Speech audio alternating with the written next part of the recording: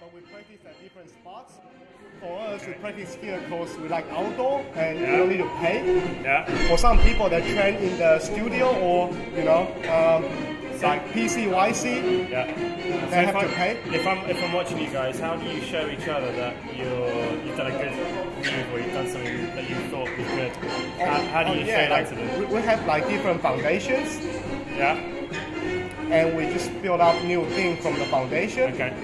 So we all know like same thing. It's like a language. Yeah, We yeah. all know the same thing. So if you've But seen then- some, if you've seen something that you really like, how do you show that person whilst they're doing it that you've, you really you thought that was great?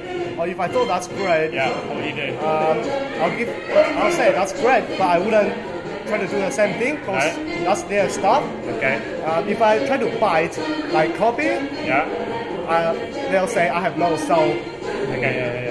You know what I mean? So you can develop your own style. Yeah, we have to like be fresh. Yeah. And so each of you are doing it something separate. something different, but it's all based on the same foundations. Yeah. We have like footwork, power moves, Yeah. top rocks. Yeah. Like so, top rocks like just dancing, Uh-huh. and then we have go down. Yeah. We go down to the floor, Uh huh. and we do some footwork, footwork steps. Yeah. After that, if you think it's not enough to show people, you wanna do some power moves like spinning, Yeah. And then you wanna finish up like So how have you how have you managed to learn from these other guys? What have you learned from these other guys? Oh, um, like if some guy they are good, better at like uh, power moves, if they are stronger, Yeah. I'm skinny. Yeah. I'll ask them for tips, like how do I build up my muscle? Yeah. What what do I train to get that move?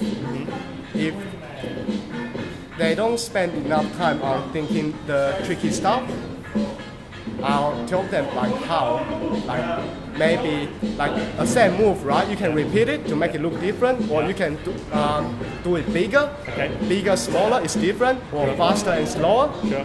Yeah, it's based on thinking and just Yeah. practicing. Does anybody ever take the Mickey and say, "Oh man, that's bad"?